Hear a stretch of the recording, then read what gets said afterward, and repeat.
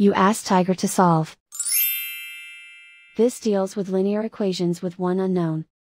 The final result is x equals 34. Let's solve it step by step.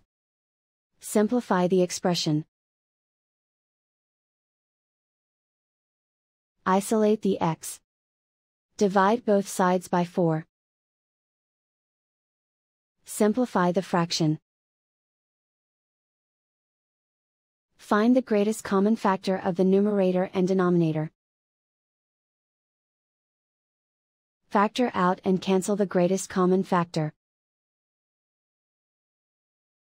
And so the final result is x equals 34.